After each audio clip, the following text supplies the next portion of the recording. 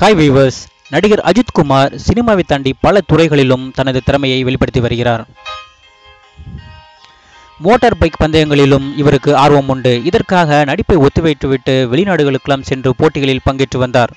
விமானம் ஓட்டுவதிலும் அவருக்கு ஈடுபாடு உண்டு என்பது குறிப்பிடத்தக்கது. விமானம் ஓட்டும் லைசன்ஸும் வாங்கி வைத்துள்ளார். இது மட்டுமல்லாமல் சமீபத்தில் துப்பாக்கி சுடும் பயிற்சியும் எடுத்து வந்துள்ளார் அஜித்குமார் இதேபோன்று கார் ஓட்டுவதிலும் அவ்வப்போது கலந்து வருகிறார். சமீபத்தில் நடந்த ஃபார்முலா பந்தயங்களிலும் கலந்து கொண்டார்.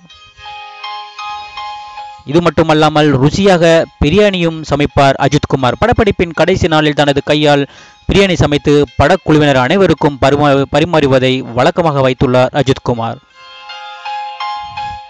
இது மட்டுமல்லாமல் அஜித்குமார் மிக சிறந்த போட்டோ கலைஞரும் கூட. இவர் எடுக்கும் போட்டோக்களை ஆல்பமாக தொகுத்து வைத்துள்ளார்.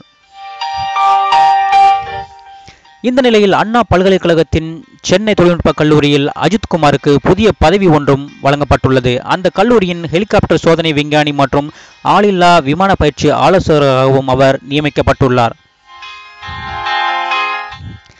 ஆஸ்திரேலியாவில் செப்டம்பர் மாதம் நடைபெறவுள்ள ஆளில்லா விமானம் தொடர்பான போட்டிகளில் பங்கேற்க செல்லும் மாணவர்களுக்கு பயிற்சியும் ஆலோசனைகளும் வழங்கும் பணிக்கு அஜித் குமாரை நியமனம் செய்துள்ளனர்.